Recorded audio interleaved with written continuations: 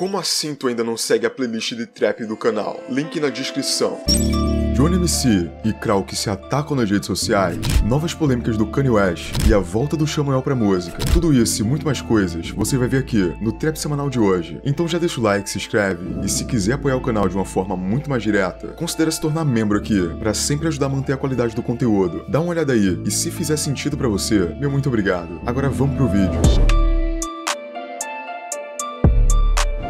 O Tyler The Creator teve problemas essa semana por usar uma música brasileira em sua mais nova campanha de marca de roupa, a Go Fla Fleur. O que acontece é que o Tyler usou a música Duplo Sentido do Gilberto Gil nessa campanha dele, mas ele não usou tipo um sample e fez uma música por cima, um beat ou algo do tipo. Não, na verdade, o que ele fez foi pegar a música e simplesmente colocar o vídeo por cima, isso sem consultar o artista que fez o som, sem pagar direitos autorais. Na verdade, sem ao menos dar os créditos de qualquer forma possível. E bom, não é de hoje que o Tyler, ele tem esse fascínio pela música brasileira, falando especificamente de MPB. Ele sempre deixou isso claro, então não me surpreende ele ter usado esse som numa campanha dele. Só que o lance todo é como ele fez isso. É muito da hora quando o artista desse nível de fama projeta a nossa cultura para fora. Por mais que, sendo sincero, o Gilberto Gil, ele também seja conhecido mundialmente, mas a forma que o Tyler fez foi super errada. E a verdade é essa. Eu tô falando como fã dele mesmo. Quando descobriram que isso tinha acontecido, primeiro, que o Tyler fez uma ligação ligação direta para Gilberto Gil e conversou com ele pedindo desculpa e etc, não entrando num acordo nessa primeira chamada. Então, a campanha foi retirada do ar. Até o momento que eu tô gravando esse vídeo, ela não tá mais no YouTube, mas provavelmente vai voltar uma hora ou outra. Dois dias depois, eles entraram num acordo de 50 mil dólares pra música ser utilizada na campanha. Troco de bala pro Tyler, vamos ser sinceros aqui, mas eu fico feliz que isso tenha acabado de uma forma amigável e da forma certa também.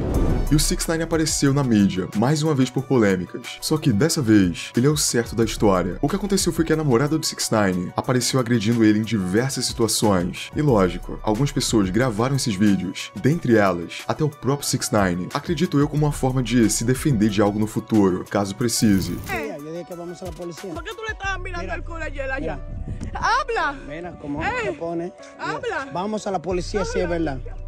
¿Viste? Se tiene que grabar porque nadie sabe cómo tú eres en, en la vida real. Mira.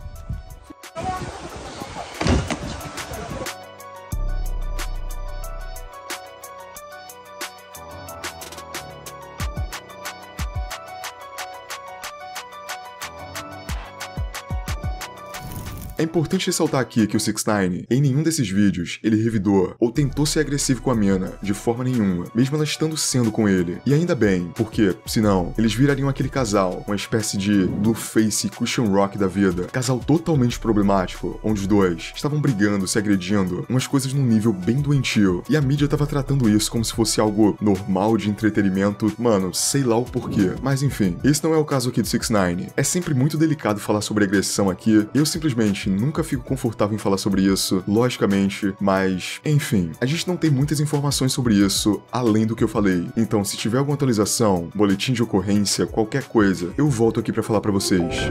E o Samuel voltou pra música. Depois de ter tomado a diz do Johnny, depois de ter sido cortado da música do Oruan, ele volta com a música sozinho. Música essa que, na verdade, era um verso dele que iria pra aquela música que ele foi cortado do Oruan. Olha que reviravolta. Mas pois é, ele voltou com um lançamento que, sendo sincero, se for comparar com qualquer coisa que ele lançou até agora, é a melhor música dele, sem dúvida. Como assim eu e você? Se eu já nem lembro teu cheiro, teu beijo, teu número não tenho mais. Palavras vazias são tão falsas que nem seu amor. Se eu já nem lembro teu cheiro, teu beijo, teu número não tenho mais. Depois que ele entrou na Universal Music, ficou claro que tudo nele ficou melhor, até falando da estrutura nesse vídeo, que inclusive tá bem foda, mas falando de música em si, que é o principal de tudo, porque ele é um cantor, mano, não é muito pra mim não, sendo bem sincero. Quando o Samuel não tinha nenhuma música na pista, antes de alguém conseguir entender, eu queria ver ele na música porque, simplesmente, eu não sabia como seriam os sons dele. Então, eu tive uma certa curiosidade, eu acho que todo mundo teve, mas ele foi pra uma pegada mais teen do que eu imaginava. Ele faz uns love songs, umas músicas de sofrência entre aspas, mas é muito bobinho, entende? É teen demais. A música, infelizmente, não me convence em nada, nem pra ser um love song me convence. Infelizmente. Falando em questão de produção e evolução dele como cantor mesmo, ele evoluiu, de fato. É a melhor coisa que ele lançou até hoje, sem dúvidas. Uma pena que, pra mim, não é algo que eu escutaria ou, sei lá, colocaria na minha playlist pros meus inscritos escutarem. Provavelmente o Samuel vai seguir nessa linha, e é isso. O Kanye tá numa onda de acontecimento nesses últimos dias. Tem muita coisa acontecendo com ele. Desde ele citar Hitler num discurso que tava fazendo na audição do seu novo álbum com Ty Dolla Sign, até mesmo o adiamento desse mesmo álbum, que era para ter saído agora nessa última sexta-feira. Bom, falando desse discurso dele, é uma live bem longa, então, se quiser ver tudo que ele falou para tirar suas próprias conclusões, eu aconselho totalmente. Se quiser um resumo, ele tava discursando sobre diversas coisas, desde empoderamento preto, sobre como a mídia distorce coisas, e aí chega num ponto que ele teve uma fala muito infeliz, de verdade. Ele tava falando sobre essa perseguição que ele sofre, mas ele usa um exemplo para dizer que, como ele, Hitler e Jesus também foram perseguidos. This is what I'm trying to tell you. Jesus Christ, Hitler, yay!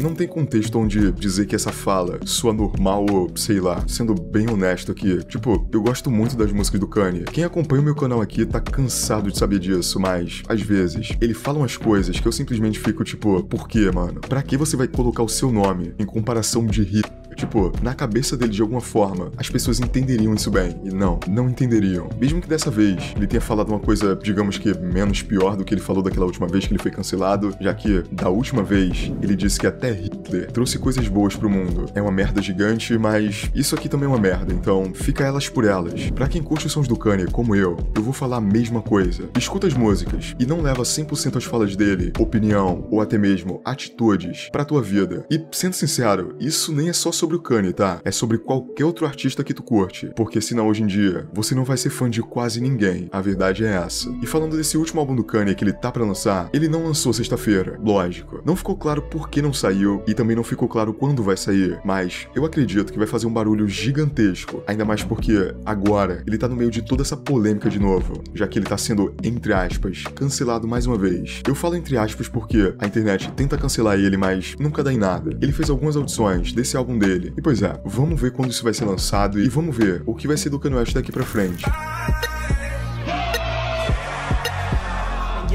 Shoot me. You wanna color me bad like a cool G. You wanna pack me up like a two.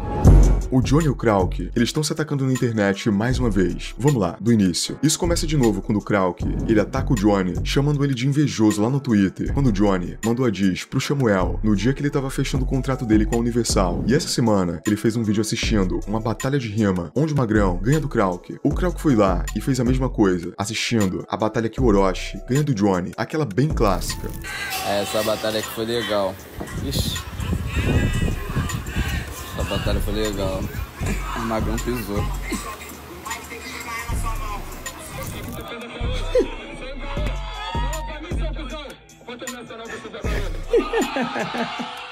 Mas e aí, o Johnny já foi pro Nacional, cara? Foi, pô, você não veio lá não? E aí, perguntaram ao Johnny se ele tinha visto isso, e foi isso que ele respondeu. Ei, Johnny, você viu lá o que o cara Playboy lá postou de tu? Não, sigo Playboy. Fala você pra mim o que, que ele postou. Falei pra nós. Eu mesmo tô por fora, tropa. É, te falo. Não sigo Playboy. Ultimamente é aquele lá mesmo. Tá movimentando a cena em porra nenhuma, não rima mais, não faz som, não faz nenhuma. Então pra mim é indiferente também, tá ligado? Não tá nem ajudando na cena, não tá nem. Entendeu? Não tá fazendo nenhuma. É diferente. Essa treta meio que parece que não vai pra nenhum lugar, onde um lado chama o Johnny de invejoso e o outro lado chama o Krauk de playboy. E ali no meio tá o Samuel, que é o motivo dessa treta tá acontecendo. O que, quando eu lembro, mano, chega a ser muito engraçado. Os dois estão brigando por causa do Samuel. Tipo, tem noção disso? Que inclusive até respondeu os ataques do Johnny, que ele fez nessa diz. Gente, eu não tenho motivo nenhum pra fazer uma diss pro Johnny. Eu tô numa etapa muito especial da minha vida, tem muita coisa acontecendo pra mim ao mesmo tempo. Eu tô literalmente vivendo um sonho de criança. E eu ouvi a música do Johnny, ele fala sobre delineado, ataca delineado, ataca unha pintada. Pra mim isso tem nome e eu acho que o problema do Johnny não é comigo, é com ele. Inclusive, Johnny, você já me bloqueou no Instagram. Você não fala comigo em lugar nenhum que você vai. Você fez isso pra mim. Irmão, segue em frente. Então, gente, vamos deixar esse assunto pra lá. Eu tô muito feliz com a música que eu acabei de lançar, que a gente trabalhou com muito carinho, com muita dedicação. E eu não sei porque um garoto de delineado incomoda tanta gente.